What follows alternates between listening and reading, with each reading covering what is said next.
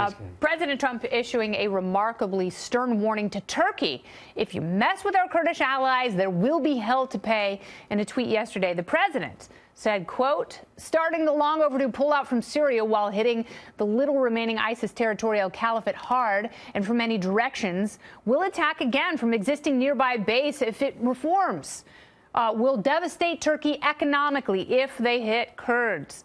The president also warned the Kurds against provoking Turkey, a NATO ally who has supported America's fight against ISIS. But the Turks also consider the Kurds to be their sworn enemy. So, will the president's threat of economic sanctions get everybody to play nice? With me now, University of Maryland professor and former chief economist at the U.S. International Trade Commission, Peter Morici is here. Welcome, sir.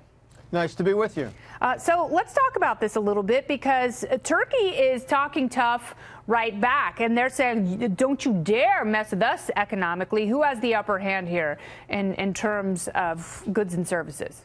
Well, we sure do have a strong hand. I mean, we're able to pressure them with some trade sanctions to release Andrew Brunson, but this is a whole order of magnitude bigger, maybe twice as twice more than that, because they really dislike the Kurds. My feeling is that Turkey is a very export dependent economy. It's virtually not growing anymore. You know, it's dictatorship, and that's what we've got there. Yes. Uh, has basically strangled the economy. I think that we could get a lot of sympathy from our allies in Europe, and if we did, we could basically strangle Turkey economically. For one thing, it's export dependent. Most of its trade is in dollars, so if it can't access the U- U.S. banking system, hey, call up Iran. You can't get paid.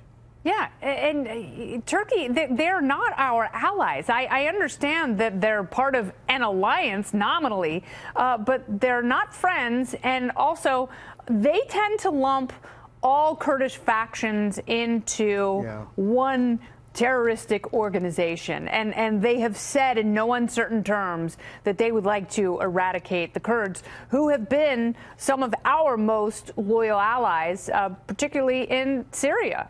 Well, Erdogan is basically a, too, a, a failing a failing dictator. So what he needs is an enemy, and the Kurds are there standing up. But you know, he hasn't got the kind of leverage, say, that the Saudi prince has. You know, the Saudi prince, if if, if we don't sell him arms, he can get them from China, and someone will always buy his oil, and he'll manage to get paid. But Turkey, I mean, they export things like machinery, metals, uh, vehicles, things like that. The Chinese aren't going to buy that stuff. The Russians can't buy it. Mm-hmm. Russia's too small economically. They really have no place to sell their stuff. They can't afford to take, say, a 10 to 15 percent hit on their economy, on their GDP. But, so we really, what, we really happens, What happens if they do? We're running out of time, but would sanctions work with Turkey better than they would with uh, Iran or, say, Venezuela? Uh, much better, I believe be because there's still some semblance of a democracy there and civil institutions. My feeling there would be an uprising. Mm-hmm. Uh, more than that, uh, Iran has got simply a stronger economic base. Uh, Turkey has no one to turn to. We think of Turkey as being pivotal. It's not. It's not. It's, we have to stop not. thinking of them in, in those terms. So my feeling is, is that, that we can do it, but we, you know, we need the support of our allies. And what mm-hmm. concerns me most about this, these bellicose statements of the president is, did, has he gotten his ducks in the row first? Because he really is going to need Germany, for example, on board with the sanctions to make them work. Yeah, he, he strangles the ducks and then he gives them a little pimp love. It's tough.